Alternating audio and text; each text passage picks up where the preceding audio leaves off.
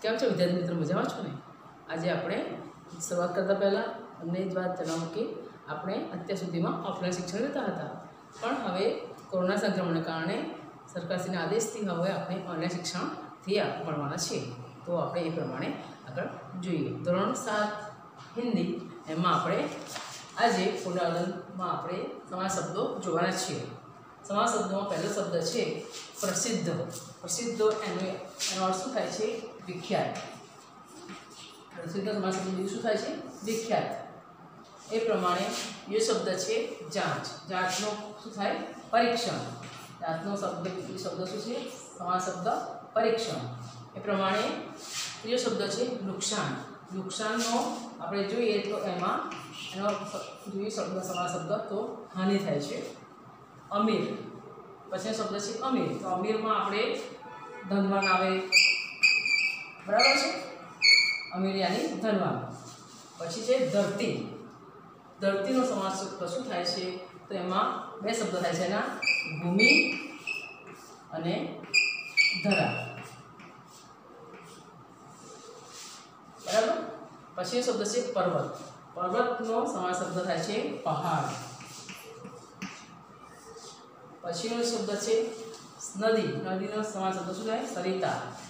સરિતા એનો સમાસ શબ્દ થાય છે. પછીનો છે માટી. માટીનો શબ્દ સમાસ શું થાય છે આપણે? મીઠી. માટી સમાસ શબ્દ શું થાય છે? માટી અને સમાસ શબ્દ મીઠી થાય છે. અંબર, એનો ગગન અથવા આકાશ. તો અહીંયા પણ આપણે જોઈશું. અંબરનો સમાસ શબ્દ શું થાય છે? આકાશ, ગગન. પછી પછી શબ્દ છે અગ્નિ. અગ્નિ સમાસ શબ્દ શું થાય છે? આગ. અગ્નિ સમાસ શબ્દ શું થાય છે, વિદ્યાર્થી મિત્રો? આગ ત્યાર પછી છે પવન. પવનનું સમાસ શબ્દ આપણે જોઈશું તો હવા. પવન સમાસ શબ્દ શું થશે? પવન યાની હવા. ત્યાર પછી છે ખ્યાલ. ખ્યાલનો શબ્દ સમાનથી આપણે જોઈશું તો એમાં ખ્યાલ અને વિચાર. ખ્યાલનો સમાસ શબ્દ શું વિચાર. ત્યાર પછી શબ્દ છે મિસાલ.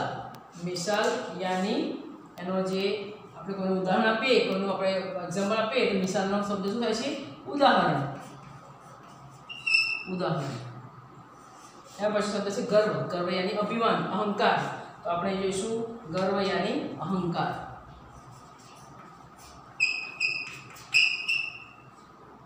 અહંકાર. ત્યાર પછી શબ્દ મંજિલ. મંજિલ લક્ષ્ય, ધ્યેય. એનો આગળ જોઈશું આપણે. મંજિલ યાની નો અર્થ છે લક્ષ્ય. લક્ષ્ય અથવા ધ્યેય. બરાબર? ત્યાર પછી છે, આપણે જોઈશું આગળ. શાન શાન યાની અહીંયા આપણે શાનનો શું અર્થ થાય? પ્રતિષ્ઠા. શાનનો અર્થ થશે પ્રતિષ્ઠા. મોભો બરાબર? પ્રતિષ્ઠા.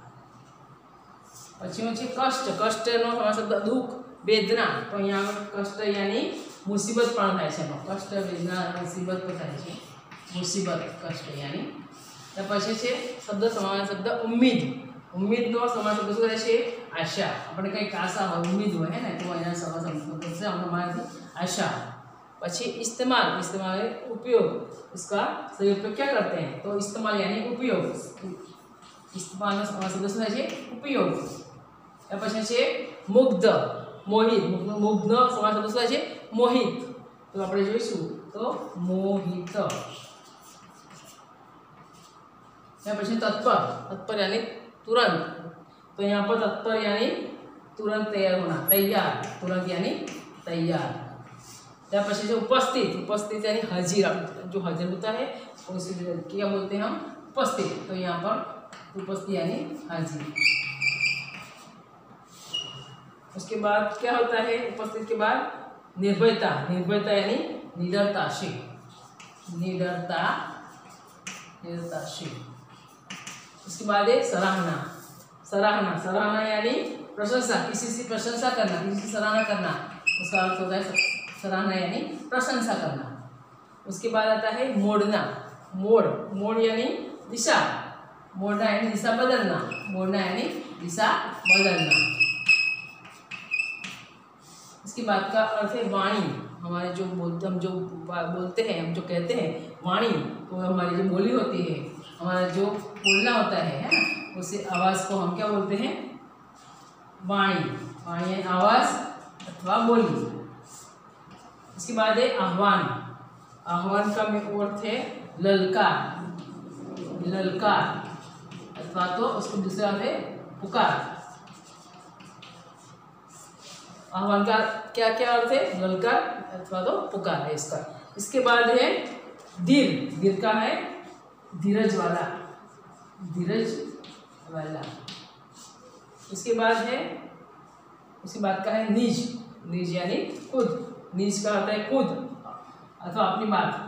तो खुद की बात करते हैं, उसको बोलते हैं नीत अथवा तो उसकी दूसरी बात है, उसको दूसरा में अर्थ है अपनी बात। अपनी बात करते हैं, उसको बोलते हैं निज, यानी निज यानी खुद। अथवा तो यहाँ पर अपने आप भी हो सकता है, अपनी अपनी बात भी हो सकता है, अथवा तो खुद उसके बाद है अपने आप, अपने अपने आप भी होता है। उसके बाद है वाणी वाणी यानी बोली। हम जो कहते हैं, बोलते हैं, और इसको वाणी, बोली, वाणी यानी बोली અને दूसरा, उसका अर्थ है आवाज़ आवाज़। वाणी का अर्थ क्या है? बोली, अथवा तो आवाज़। स्वयं यानी खुद। स्वयं का अर्थ क्या है? खुद।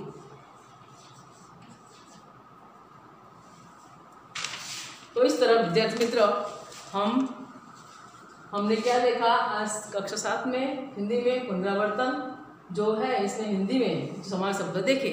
समाज शब्द आप सब लिखना और अपनी जो अपने जो टेक्स्ट बुक में में से लिखना और अपने जो यहाँ पर लिखा है, वो सब लिख के याद करना। ठीक है? Thank you